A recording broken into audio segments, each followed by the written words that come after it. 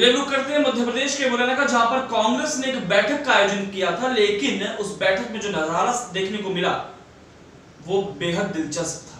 या फिर यूँ कहिए, मौजूदा सरकार को भी अब कांग्रेस पर उंगली उठाने का एक और मौका मिल गया, क्योंकि वहाँ पर समर्थक आपस में ही भिड़ गए।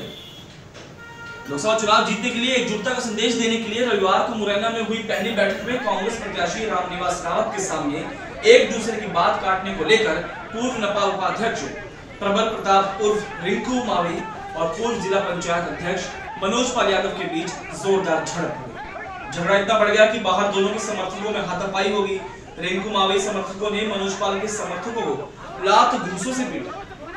दरअसल, रावत की जीत की रणनीति पर अपने विचार रखते हुए मावी ने कहा कि 2009 के लोकसभा चुनाव में रावत जब यहाँ के प्रत्याशी थे, तब ज़्यादातर कांग्रेसी मुरैना छोड़कर प्रचार के बहाने गुना शिवपुरी और भिंड चले इससे स्थानीय प्रत्याशी अकेला रह जाता है। मामले की बात खत्म होने पर यादव ने कटाक्ष करते हुए कहा कि चुनाव में जिसकी जहाँ ड्यूटी लगाई जाती है, वो उसी क्षेत्र में काम करता है तो बुराई क्या?